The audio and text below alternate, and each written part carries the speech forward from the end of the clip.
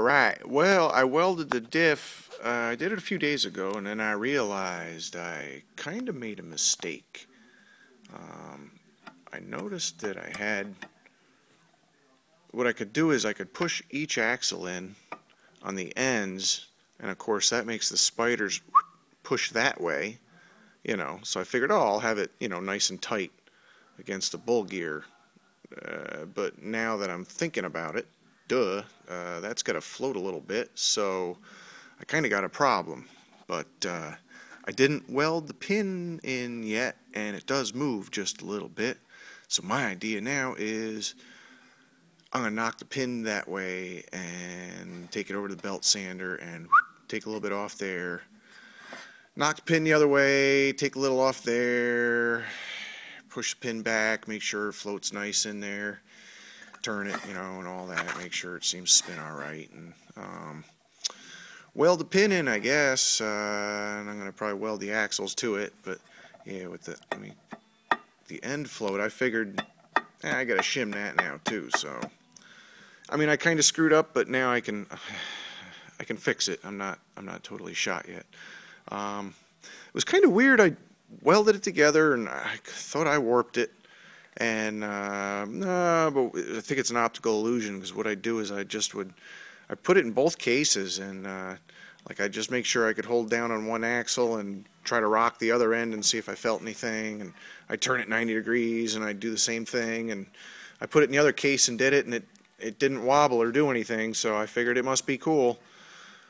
But uh, while I was messing around too I don't think I did this but I noticed it was starting to be a problem. And it's where to you can see there's a crack right there. Darn it.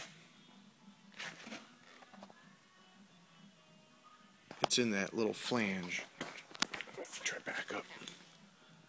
So I think what I can do is that flange is starting to crack like it was pushed in on the end. I didn't drop it or nothing but the other side's kind of funny too. It looks weak and cheesy. Um, I'm going to just use this stuff. And yeah, man, you just weld her up with a propane torch. Beautiful. Screw JB Weld and all that crap. As long as you can get it apart.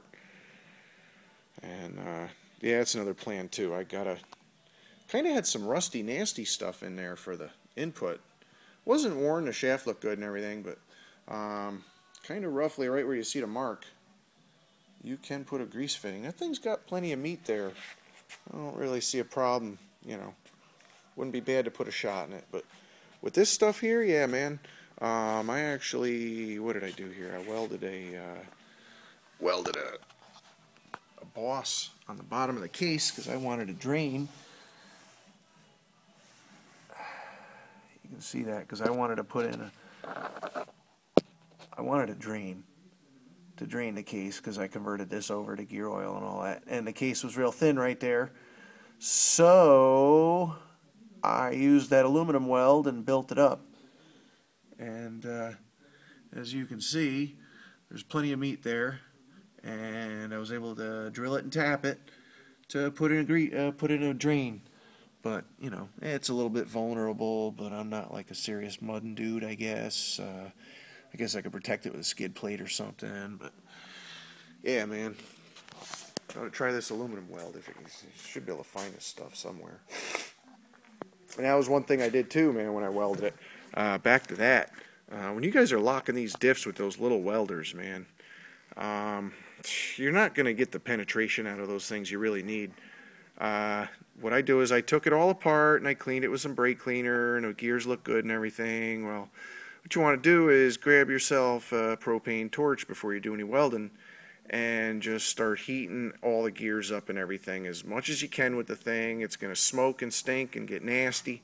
And when it stops smoking and stinking and getting nasty, uh, just walk away for 10 or 15 minutes and let it cool off and uh, take it back over to the wire wheel.